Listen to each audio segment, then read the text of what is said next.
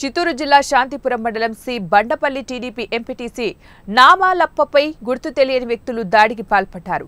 రాత్రి తిమ్మరాయ స్వామి ఆలయం వద్ద టీడీపీ ఎంపీటీసీ కారును దుండగులు అడ్డగించి కారు అద్దాలను ధ్వంసం చేసి దాడి చేశారు. గతంలో సి బండపల్లి ప్రాంతంలో అక్రమ క్వారీలను చంద్రబాబు దృష్టికి తీసుకువెళ్ళి క్వారీలను నామాలప్ప మూయించారు. దీంతో నామాలప్పపై కక్ష పెంచుకొని దాడి చేసినట్లు టీడీపీ నేతలు పేర్కొంటున్నారు.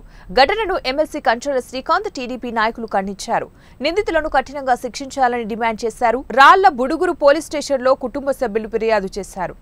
ఆ తర్వాత వాళ్ళ ఐవర్లు వచ్చిన తర్వాత నేను స్టేషన్ పరిగెత్తిపోయి వాళ్ళ కుటుంబంలో ఇంతవరకు వాళ్ళ ముఖాలు కూడా నేను చూడలేదు. ఇప్పుడు వాళ్ళు వచ్చినండి అంటే వాళ్ళు శాంతిపురకు సంబంధించిన వాళ్ళా? లేకపోతే ఊరు అనేది కూడా నాకు తెలియదు శాంతిపురం అంటే ఆయన బోధూరులో శాంతిపురం బోధూరులో అని చెప్పినాడు కాబట్టి. అరే. ఎవరు- ఆడ ఆర్య అనేసి డ్రైవర్గా ఉన్నాడు. ఆయన ఆతోలుగా నా కార్ని వాళ్ళ చేతిలో గుద్దిండ్రి. ఏ మనోడు వదిలేయంటే అనుకుని వెళ్ళిపోయాను. నుంచి కూర్చున్నాడు ఆయన. అన్న నన్ను కూర్చొనే ఉంటా.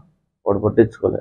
వెళ్ళిపోయా "ఏ మనోడు వదిలేయంటారు అని చెప్పేసి నలుగురు ఆడి నా ముందు ఊడ్చుకున్నారు వాడు వెళ్ళిపోయా మనోడు వదిలేయంటారు అని చెప్పేసి ఆతోలు కార్ని కొట్టేయంటారు అంటే ఆయన స్టేషన్లో డ్రైవర్గా పనిచేస్తుంటే ఇంటి ముందు ముందు ఉండే అప్పుడప్పుడు వస్తాడు. అప్పుడు మేము పోయేది స్టేషన్లోనే ఉండే ఆయన. పోలీస్ పోలీస్ మామూలుగా షిప్ ఇంటి ముందు ఉండే ఇప్పుడు లేను నాకు తెలియదు.